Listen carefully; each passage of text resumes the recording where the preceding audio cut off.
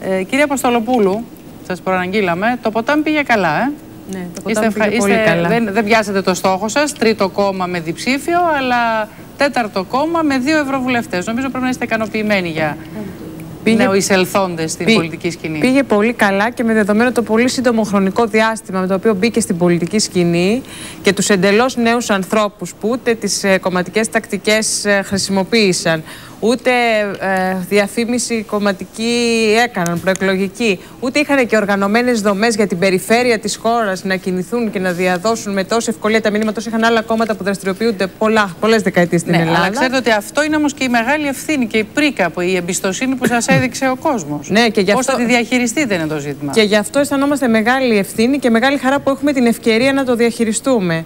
Αν ε, μου επιτρέπετε, εγώ διαγνώσκω το αποτέλεσμα, το αποτέλεσμα μια ψήφο αμηχανία Ούτε η κυβερνητική πολιτική επιβραβεύεται στην Ελλάδα, ούτε και μια καλή αντιπολίτευση επιβραβεύεται στην Ελλάδα.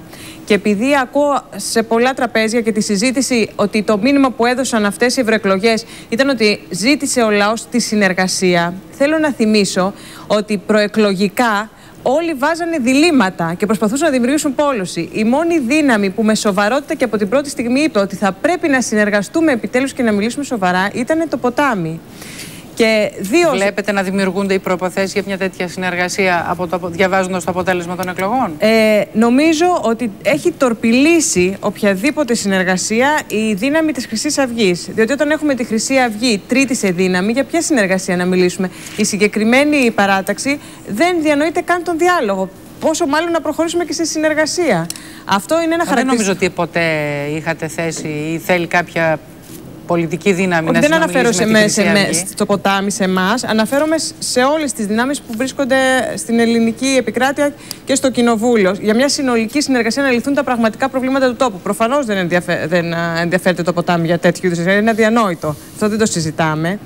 Ε, το ποτάμι έχει πει από την αρχή ότι σε ό,τι αφορά εμάς, ενδιαφερόμαστε να κάνουμε εκείνες τις συνεργασίες που θα βασιστούν πάνω στις αρχές του ποταμιού. Έχει πολλές φορές υποθεί.